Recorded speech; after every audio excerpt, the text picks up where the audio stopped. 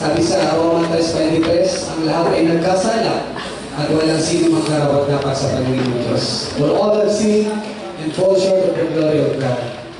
Hindi po tayo nakapasa sa pamantayan ng Diyos. Lahat po tayo ay bumagsak.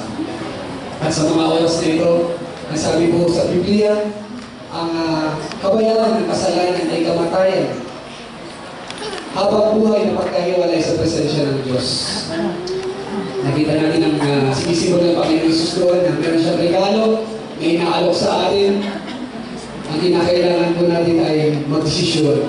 Ito po ang pinakamalaking desisyon sa ating buhay na hindi po natin pagsisisihan. If you choose to accept Christ as your Lord and Savior, you will have an everlasting life. Magkakaroon kayo ng buhay na walang hanggan at makakapiling ang Diyos habang buhay. Isipin niyo na lang po yung itatalaga